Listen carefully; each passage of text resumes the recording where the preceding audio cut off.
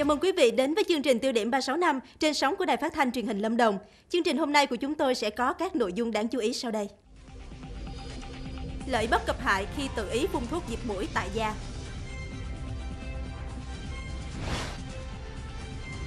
Bình Phước mới lạ mô hình tổ liên kết trồng tiêu nuôi dê. Đồng Nai, nghi can dùng súng bắn chết nữ sinh rồi chạy vào rẫy tự sát. Cẩn trọng khi chữa bệnh theo các phương pháp lan truyền qua mạng xã hội.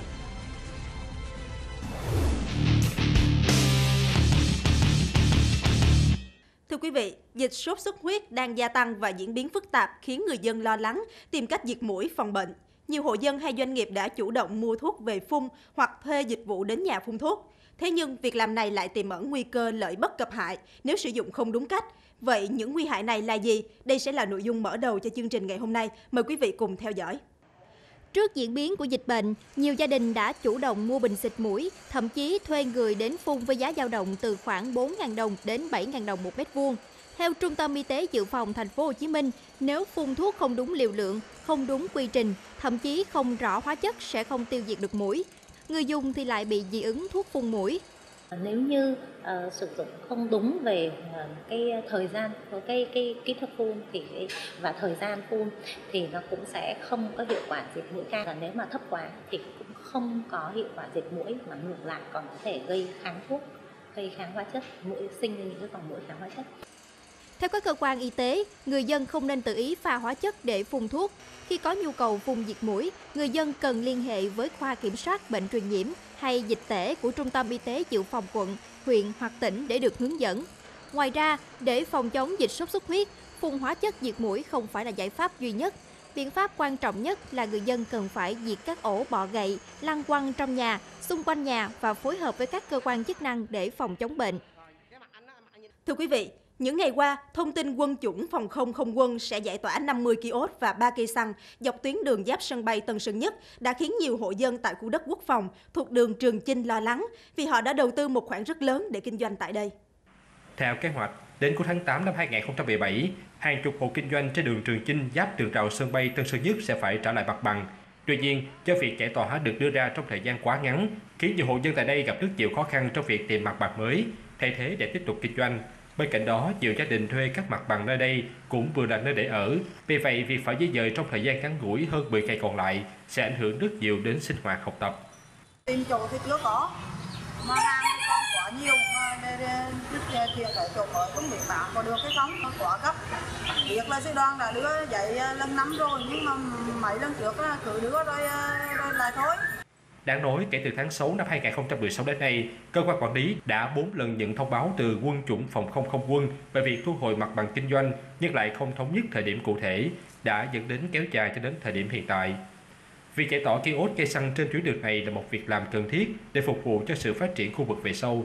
Tuy nhiên, thiết nghĩ các cơ quan quản lý cần có chính sách cụ thể và biện pháp hỗ trợ để đảm bảo cuộc sống cho người dân. Ủy ban nhân dân tỉnh Bình Định vừa tổ chức hội nghị rút kinh nghiệm công tác tuyên truyền, phổ biến giáo dục pháp luật cho ngư dân. Từ đầu năm 2016 đến tháng 5 năm 2017, tỉnh Bình Định có đến 52 tàu cá, 388 thuyền viên bị nước ngoài bắt giữ. Riêng 5 tháng đầu năm 2017 có 17 tàu cá, 118 ngư dân vi phạm vùng biển các nước. Nhằm giảm thiểu tình trạng này, bên cạnh việc phổ biến kiến thức pháp luật về lãnh hải, biển đảo, luật biển, vận động ngư dân không sang vùng biển nước ngoài để đánh bắt, chấp hành nghiêm giấy phép khai thác thủy sản, Ủy ban nhân dân tỉnh Bình Định cũng yêu cầu lực lượng chức năng tăng cường tuần tra kiểm soát, quản lý và xử lý nghiêm những trường hợp cố tình vi phạm, tái phạm, đưa tàu cá Việt Nam sang vùng biển nước ngoài khai thác hải sản. Nối tiếp chương trình là một số thông tin dân sinh đáng chú ý khác. Thưa quý vị, vì nằm trong vùng quy hoạch dự án nên hơn chục năm qua, hơn 100 hộ dân xóm Đồng Tâm, xã Vĩnh Thái, thành phố Nha Trang không được đầu tư điện, nước và cơ sở hạ tầng. Điều này đã khiến cho cuộc sống của người dân nơi đây gặp rất nhiều khó khăn, thiếu thốn. Do điện nước không được đầu tư nên người dân ở đây phải sử dụng giờ với giá rất cao, đến 13.500 đồng một mét khối. Cũng theo người dân, do không được cấp hộ khẩu nên khi nhà bị xuống cấp nghiêm trọng, chính quyền chỉ cho sửa chữa chứ không cho làm nhà mới vì khu vực này nằm trong quy hoạch dự án. Nói chung là lên từ đầu là không điện không nước. Mà ở cái xứ này là nước là nước phèn, không thể nào sử dụng được. Cho nên là không có không có được cấp một cái gì hết thì dân tự túc hết. Theo quan sát, hệ thống đường dây điện ở khu vực này cũng khá tạm bợ, dây thòng lồng sát mặt đất và được chấp nối rất nguy hiểm. Vào mùa mưa đã có nhiều người bị điện giật. Không chỉ vậy, hệ thống đường giao thông nội bộ ở xóm Đồng Trăm không được đầu tư bê tông trở nên tồi lởm rất khó đi. Theo lãnh đạo Ủy ban nhân dân thành phố Nha Trang, trong khi chờ dự án triển khai, thành phố sẽ đề nghị công ty cổ phần cấp thoát nước và công ty cổ phần điện lực Khánh Hòa nghiên cứu cấp điện nước tạm thời cho người dân sử dụng. Về lâu dài, khi dự án triển khai, thành phố sẽ đề xuất Ủy ban nhân dân tỉnh các giải pháp giải tỏa, tái định cư theo quy định. Hiện nay, cây cầu tạm thuộc thôn Kim Sơn, xã Thủy Bằng, thị xã Hương Thủy, tỉnh Thừa Thiên Huế đang phục vụ nhu cầu đi lại cho gần 600 nhân khẩu đã bị xuống cấp. Cầu dài gần 20 m, rộng chỉ hơn 1 m, được lắp ráp bằng tre, không có lan can bảo vệ, phía dưới là những trụ sắt cũ kỹ. Và việc lưu thông qua lại, người dân còn vận chuyển đất, vật tư nông nghiệp qua cầu để phục vụ nhu cầu trồng lúa, hoa màu. Hiện người dân thôn Kim Sơn rất mong có một cây cầu mới để thuận lợi hơn trong giao thông, phát triển kinh tế địa phương. Chuyển sang các thông tin nông nghiệp đáng quan tâm. Thưa quý vị, chỉ tính riêng từ đầu tháng 8 đến nay, bệnh chết héo và rầy nâu, rầy lưng trắng đã gây thiệt hại hơn 7.900 hecta vụ lúa hè thu trên địa bàn tỉnh Quảng Ngãi. Diện tích bị bệnh và rầy gây hại đang gia tăng nên bà con nông dân cần tăng cường diệt trừ để bảo vệ lúa. Tại cánh đồng lúa của xã Tịnh Long, Tịnh Thiện, thành phố Quảng Ngãi, nhiều thửa ruộng, cây lúa bị bệnh khô héo, chết do không được phát hiện bệnh và phun thuốc trừ sâu kịp thời. Là thời tiết không thuận lợi là nắng nắng bất thường, dài nào sau bệnh là nó nhiều quá. Không, bơm cái như xử lý không kịp thời là nó hư, nó không có được. Như đồng lúa này mà được, ví dụ như mấy năm được 80% thì năm nay chỉ có 40% thôi.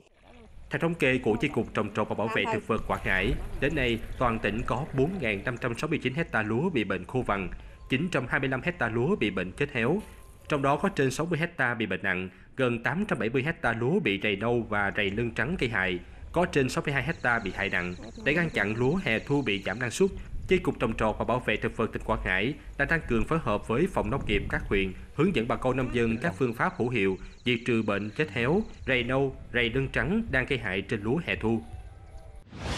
Những năm gần đây trên địa bàn tỉnh Đắk Lắk thường xuyên xảy ra tình trạng phá hoại vườn tiêu, khiến người dân vô cùng lo lắng.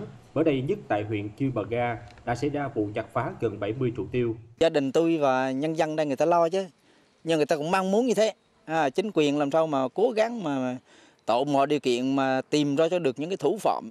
Theo nhận định bắt đầu, các vụ phá hoại vườn tiêu thường là do mâu thuẫn tư thù cá nhân, chứ không phải là trộm cắp dây tiêu. Chính quyền khuyến cáo người dân phải tăng cường cảnh giác và cung cấp những thông tin cần thiết để cơ quan chức năng tìm ra thủ phạm. Thưa quý vị, huyện Bù Đốp, tỉnh Bình Phước là một huyện thuần nông. Những năm gần đây, giá cả các mặt hàng nông sản giảm mạnh đã khiến không ít nhà nông lâm vào cảnh lao đao. Để vượt qua khó khăn, nhiều người dân đã hình thành các tổ liên kết sản xuất để giúp nhau phát triển kinh tế, vượt khó khăn, từng bước ổn định cuộc sống. Mô hình liên kết trồng tiêu nuôi dê của thôn 10 xã Thiện Hưng là một minh chứng điển hình. Từ khi giá tiêu xuống dốc không phanh, gia đình ông Nguyễn Chí Tiến, thôn 10 xã Thiện Hưng đã chuyển sang mô hình kinh doanh mới là chăn nuôi dê. Dù mang lại nguồn thu nhập khá, tiềm năng phát triển lớn, nhưng thực tế hiện nay do chăn nuôi nhỏ lẻ nên đầu ra con dê hầu như cho thương lái quyết định, người dân thường bị ép giá. Trước thực tế này, ông Tiến đứng ra thành lập mô hình tổ liên kết trồng tiêu kết hợp chăn nuôi dê nhằm chia sẻ kinh nghiệm hỗ trợ vốn tìm đầu ra cho sản phẩm. Từ cái hiệu quả kinh tế của gia đình thì đã vận động được 15 hộ coi như tham gia nuôi dê và trồng tiêu bền vững.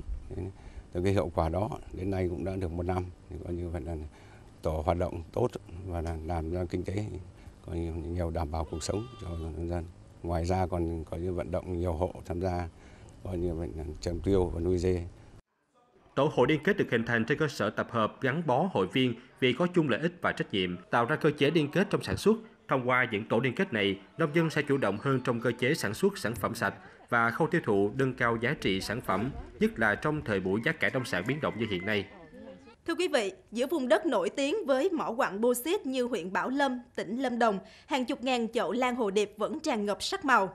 Với loài hoa tương đối khó tính và kén môi trường như lan hồ điệp, thì việc được trồng trên vùng đất đỏ nổi danh về khai thác quặng và nhiều nắng gió như Bảo Lâm quả là một điều lạ lẫm.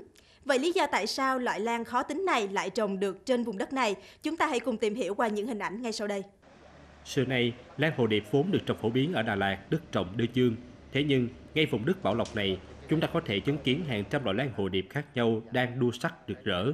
Giống lan này được nhập khẩu trực tiếp từ Đài Loan và được trồng trong trang trại nhà kính khép kín hiện đại.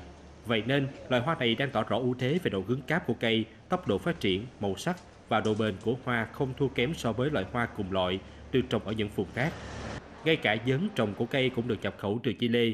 Đây là loại giấn trắng giúp cho rễ hoa lan hô hấp dễ dàng, hạn chế nguy cơ dịch bệnh.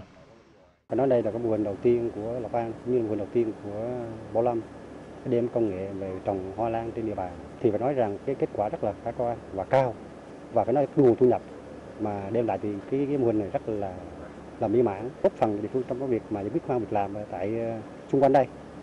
Có thể nói rằng thành công của mô hình trồng lan hồ điệp trên vùng đất Bảo Lâm này đã góp phần thay đổi tư duy làm nông, tạo động lực cho nông dân mạnh dạn áp dụng công nghệ cao để đa dạng hóa các sản phẩm nông nghiệp tại địa phương.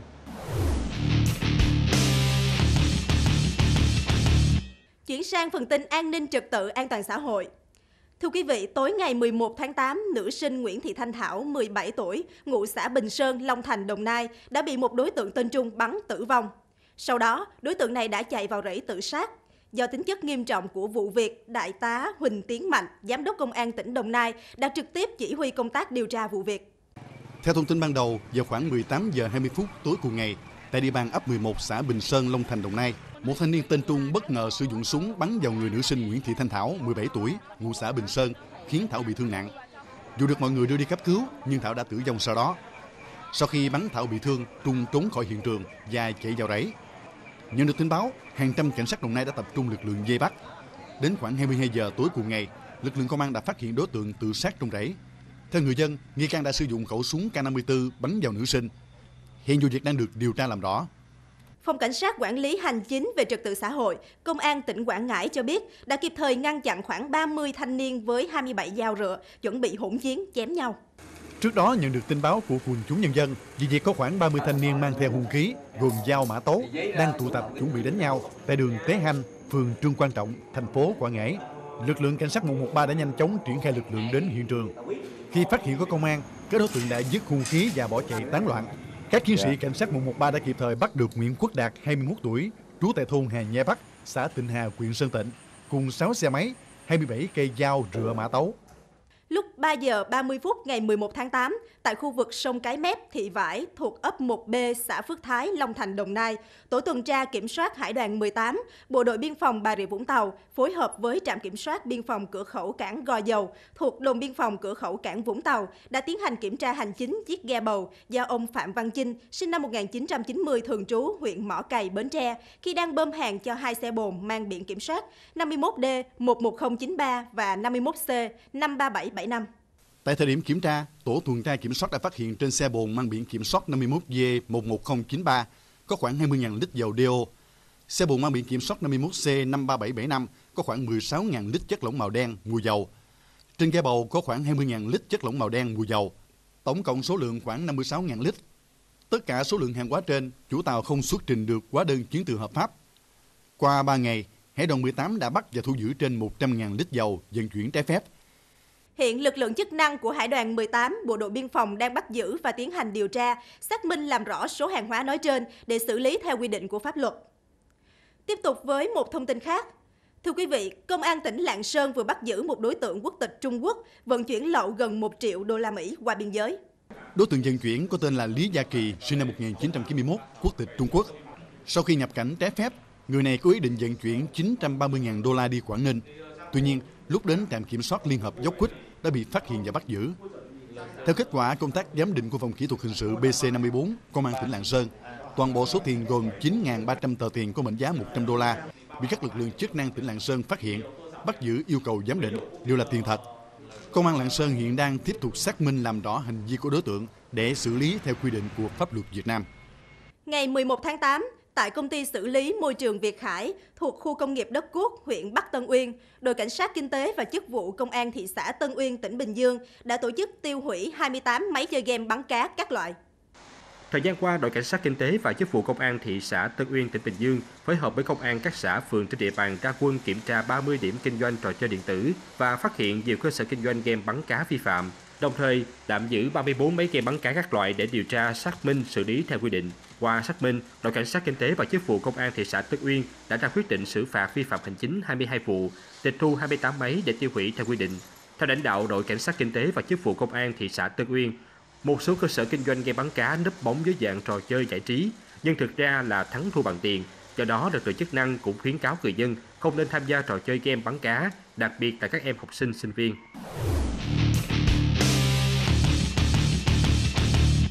Phần cuối chương trình như thường lệ mời quý vị đến với tiểu mục vấn đề hôm nay. Thưa quý vị, thời gian gần đây trên các trang mạng xã hội lan truyền rất nhiều các phương pháp chữa bệnh, chăm sóc sức khỏe cho cả trẻ em lẫn người lớn. Theo các chuyên gia y tế, việc tiếp thu những kinh nghiệm hay từ dân gian hay các trang mạng đều là một kênh thông tin tốt để phòng trị một số chứng bệnh thông thường. Tuy nhiên, người dân cũng nên chú ý chọn lọc thông tin, cân nhắc thông tin nào nên tham khảo, thông tin nào thì không, bởi không thể lúc nào cũng chủ quan làm theo những hướng dẫn trên mạng mà không đến các cơ sở y tế kịp thời dẫn đến những hậu quả đáng tiếc. Vì làm theo sự hướng dẫn trên mạng về việc rửa mũi bằng xi lanh và tin rằng đây là phương pháp an toàn, thậm chí còn xem đó là bài thuốc trị bệnh tai mũi họng hiệu quả, mà cách đây không lâu, con trai chị Chu Thị Mai Hương, phường Đông Hải, thành phố Thanh Hóa đã phải nhập viện điều trị vài ngày vì bị viêm tai giữa. Bé nhà tôi có bị viêm tay giữa, đưa cháu ra ngoài ngoài Hà Nội thì các bác sĩ ngoài Hà Nội viện Tay mũi họng trung ương có chuẩn đoán cháu là viêm tay giữa nhưng mà biến chứng nặng. Ra ngoài đấy thì các bác sĩ ờ, có hướng dẫn và có chỉ ra nguyên nhân là do cháu bị sổ mũi lâu ngày và do mẹ ờ, rửa mũi không đúng cách. Niêm mạc mũi ở trẻ thì rất là dễ bị tổn thương và khi dùng xi lanh để xịt rửa cho con, nó sẽ gây một cái áp lực ờ, mạnh vào mũi và sẽ làm tổn thương các niêm mạc mũi. Hiện nay thì ở trên các trang mạng có rất nhiều các cái hướng dẫn cũng như các phương pháp điều trị các cái triệu chứng và các cái bệnh về đường hô hấp.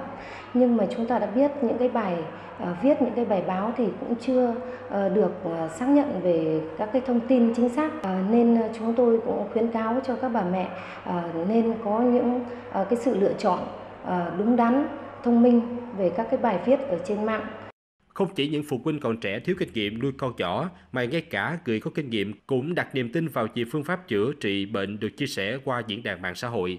Thực tế, các bệnh viện đã tiếp nhận một số các bệnh biến chứng do tự ý chữa bệnh theo phương pháp lan truyền trên mạng xã hội. Lời khuyên của các bác sĩ là người dân hãy đến các cơ sở y tế để được khám tư vấn và điều trị theo đúng cách kịp thời. Đến đây thì thời lượng dành cho chương trình cũng đã hết. Cảm ơn quý vị đã quan tâm theo dõi. Chương trình Tiêu điểm 36 năm được phát sóng trên Đài Phát thanh Truyền hình Lâm Đồng. Xin kính chào và hẹn gặp lại vào chương trình ngày mai.